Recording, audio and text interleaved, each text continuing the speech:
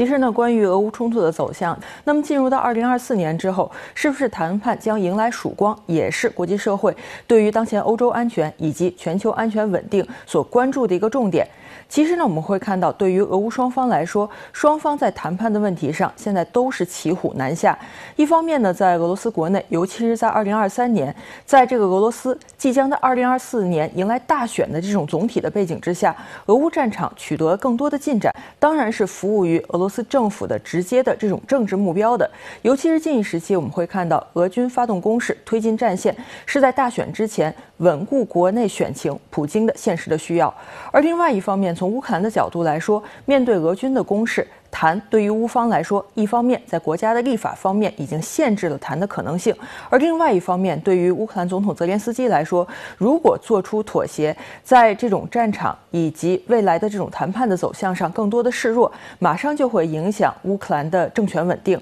所以，对于双方来说，谈意味着妥协，都是所谓的不可承受之重。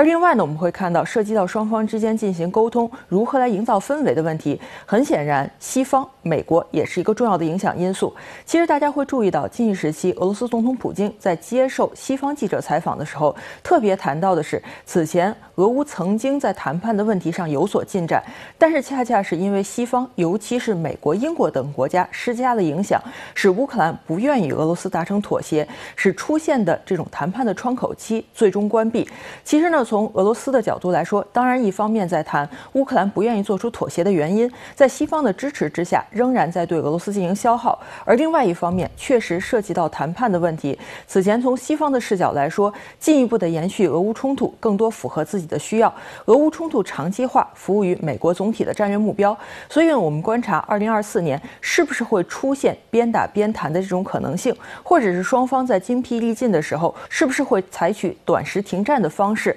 来进行休整，寻找谈判的契机。目前来看呢，仍然是一个极为艰难的过程。而在这个过程当中，很多的不确定性，很多的影响因素，都会决定最终俄乌冲突的走向。那么在谈判沟通的条件方面，很显然，现在各方也没有形成广泛的共识。